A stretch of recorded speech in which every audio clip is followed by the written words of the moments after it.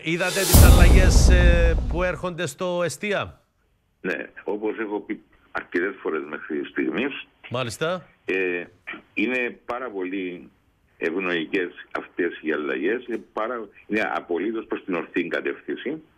Η εισαγωγή δημογραφικών κριτηρίων στη δομή της οικογένειας, δηλαδή πόσα είναι τα μέλη της οικογένειας κλπ.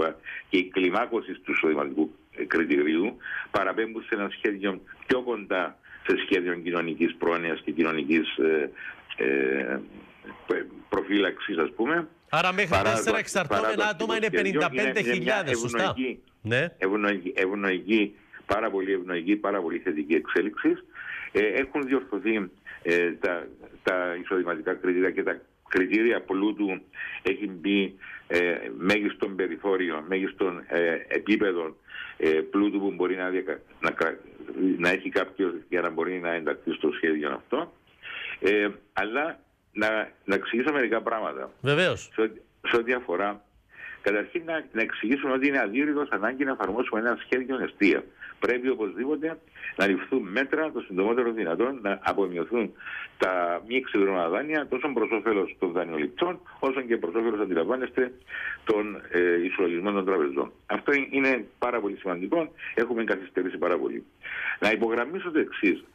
Η ουσία του σχεδίου αιστεία είναι αυτός ο έξυπνος μηχανισμός, ο οποίος εγκαθιδρύεται μέσα από τον οποίο το εκκρεμούν υπόλοιπων του δανείου όταν αυτό το υπόλοιπο είναι μεγαλύτερο από την ε, αγοραία αξία του ακινήτου απομειούται και καθίσταται ίσο με αυτήν την αξία. Αυτό είναι μια πολύ σημαντική μείωση του δανείου όταν επισυμβαίνει και διευκολύνει πάρα πολύ την βιώσιμη αναδιάρθρωση του δανείου. Άρα ένα Μέσα λεπτό, από ένα το- λεπτό να δώσουμε ένα παράδειγμα. Δηλαδή αν τώρα μέσα ξέρω εγώ... από τε- Πάει για παράδειγμα, Ε, εάν το ναι. δάνειο, το, το εκκρεμούν υπόλοιπο είναι 220.000 και το, η αξία του ακινήτου είναι 100, αυτόματα οι 120.000 παρκάρονται και η αναδιάφραση του δανείου γίνεται πάνω στις 100.000 στην α- α- αγοραία αξία του ακινήτου. Πού Αυτό παρκάρονται, πού διευκολύνει- παρκάρουν, αυτό διαγράφονται οι 120. Όχι, παρκάρονται και διαγράφονται στην εξόφληση. Απαρκάρονται μάλιστα. Μπαίνουν στο περιθώριο. Λοιπόν, ε, Μάλιστα. για, για ένα, για, μια- εάν η αναδιάρθρωση αυτή ε, είναι βιώσιμη και εξελιχθεί βιώσιμα με αποτέλεσμα να εξοφληθεί στη ε, δεδομένη χρονική στιγμή το δάνειο, τότε στην εξόφληση η, το ποσό το οποίο έχει παρκαριστεί προφανώς θα διαγράφεται. Είναι περίπου το ίδιο πράγμα. Λοιπόν, Έχου- έχουμε απορίες. Αν... ο- ε, μισό λεπτάκι να ολοκληρώσω αγαπητέ Ναι. φίλε Νικήτα. Ναι. Ο έξυπνος μηχανισμός αυτός ε, όμως εμπεριέχεται στην οδηγία της Κεντρικής Τράπεζας. Άρα εμπορούσε αυτό το πράγμα να έχει γίνει και πριν τέσσερα χρόνια εάν η οδηγία της Κεντρικής Τράπεζας αυτών των εξαιρετικών εργαλείων αναδιάφραση με εξυπηρετών δανείων εφαρμόζεται και χρησιμοποιείται σωστά. Έπρεπε δε αυτό το εργαλείο να έχει χρησιμοποιηθεί στο συνεργαλισμό. Κάτι που δεν έγινε πουθενά, κύριε Παϊωάννου, και είμαστε εδώ Όχι, και έγινε μετράμε σε τις ορισμένες πρα- ζημιές και την καταστροφή.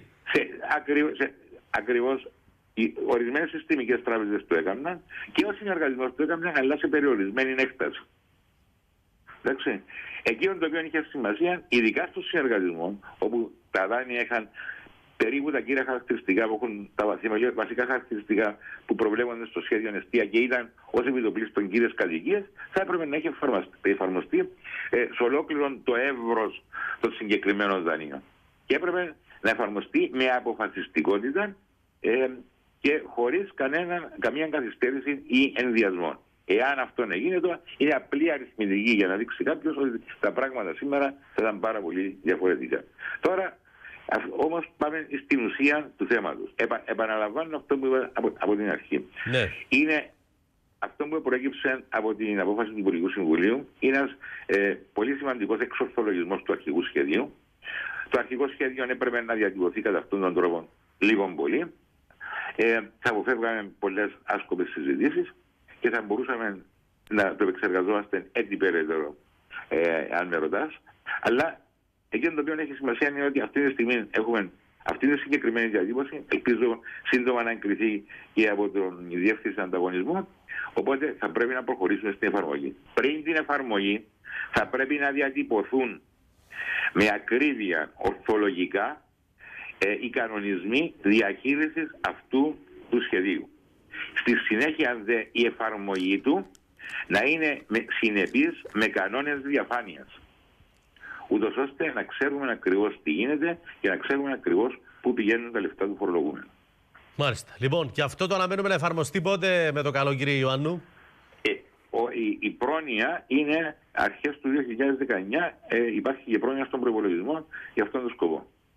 Μάλιστα. Άρα, πριν φτάσουμε στην ημερομηνία έναρξης της εφαρμογής, θα πρέπει να διασφαλιστεί το κράτος θα πρέπει να διασφαλίσει ότι θα λειτουργεί στη βάση συγκεκριμένων κανονισμών ορθολογικά διατυπωμένων για να επιτυχάνουν όσο το δυνατόν πλέον αποτελεσματικά τους αντικειμενικούς τους σκοπούς, η δε εφαρμογή να ρυθμίζεται μέσα από κανόνες διαφάνειας. Μάλιστα. Λοιπόν, το αναμένουμε. Εάν τα Και... επιτύχουμε Πόσοι αυτά θα τα υποφεληθούν πράγματα, από αυτό το σχέδιο, παρά κύριε τις Ιωάννου. τρευλώσεις που υπάρχουν σε αυτό το σχέδιο, Ναι. θα επιτύχουμε τους αντικειμενικούς τους σκοπούς που εκεί είναι το ζητούμενο. Πόσοι αναμένετε να υποφεληθούν. Αν δεν είμαι σε θέση να γνωρίζω αυτούς τους αριθμούς, Μάλιστα. Και έπρεπε το δάνειο κάποιου που θα εμπλακεί με το εστία να ήταν μη εξυπηρετούμενο το 17, σωστά; Έπρεπε να ήταν μη εξυπηρετούμενος μέχρι υπάρχει η, ο ορισμός του μη εξυπηρετούμενου ε, επιλέξιμου δανείου για τους σκοπούς του συγκεκριμένου σχεδίου. Υπάρχει στην ε, σχετική ανακοίνωση, σχετική ανάρτηση ε, μέχρι το τέλος του Σεπτέμβρη του 2017. Και θα πρέπει- Προφανέστατα, όσοι ε, άφησαν τα δάνεια τους να εξελιχθούν μη εξυπηρετούμενα για να ενταχθούν στο σχέδιο αυτό, κακώς έπραξαν.